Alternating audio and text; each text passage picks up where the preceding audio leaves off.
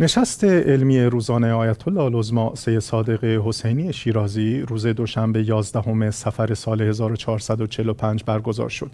در این نشست همچون جلسات پیشین ایشان به سوالهای حاضران در جلسه پیرامون مسائل مختلف فقهی پاسخ دادند.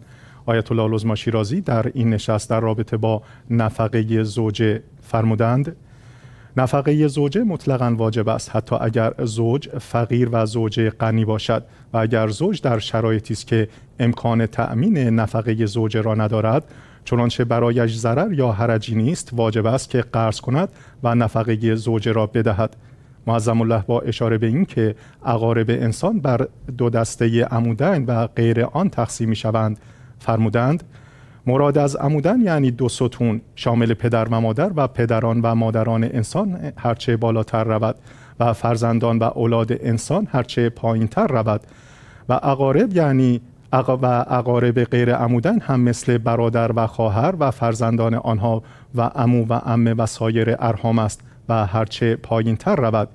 ایشان با بیان اینکه فرق ایشان با بیان اینکه فقیر شرعی کسی است که به اندازه شانس امکان تأمین مخارج زندگی خود را نداشته باشد و لازم نیست عرفا فقیر تلقی شود در رابطه با نفقه عمودن و ارهام فرمودند.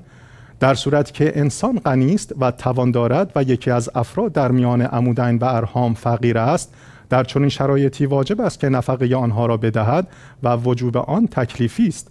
آیت الله عظما شیرازی در ادامه فرمودند چنانچه انسان از دنیا رفت و نفقه نسبت به زوجه به گردن او بود این نفقه پرداخت نشده دین و دین و بدهی انسان محسوب شده و حتی لازم است پس از مرگ قبل از تقسیم ارث به زوجه پرداخت شود و باقی مانده ارث میان ورثه تقسیم شود. حتی اگر لباس تن او و فرش زیر پایش باشد چون که پس از مرگ به آنها احتیاج ندارد. اما در مواردی که ورثه ارهام واجب بوده و انسان در زمان حیات خود پرداخت نکرده دین و بدهی تلقی نشده و لازم نیست از ارث کسر شود. با هم فرمایشات آیت الله العظما شیرازی را ببینیم و بشنویم. اگه چیزی اضافه مند ارث میشه برای ورثه اگه هیچی نداره تو روایت داره. پیغمبر خدا صلی الله علیه و آله فرمودن اللهم صل على محمد و آل محمد و عجل فرجهم و لعن اعداهم اگر پدر و مادر اگر شخصی مرد و مدیونه و پول نداره که دینشو بدن اگه پسر پولدار داره برش واجب نی دختر پولدار داره برش واجب نی پدر و مادر پولدار داره بر اونا واجب نی.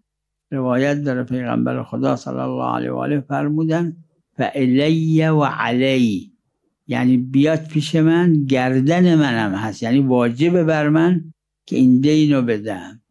لحاظا فقها اجماع دارن. فقهای مسلمین حتی نواصب کسایی که ناصبی هستن چون فرمایش پیغمبر صلی الله علیه و آله و همه نقل کردن اونا میگن که بر حاکم اسلامی که بیت المال پیشش جمع میشه بر اون واجبه که این دینا رو بده. تو بعضی روایاتش داره اگه حاکم اسلامی نداد دین این کسی که مرده و مدیون و نداره پول و علیه اسمه گناهش گردن حاکم اسلامیه. خلاصه کسی که مدیون میمیره و پول نداره این بر ورسش اگه غنی هستن پول دارن واجب نی دینشون رو بدن. دین باباشون دین فرزندشون. واجب نی بله کار خوبیه. بر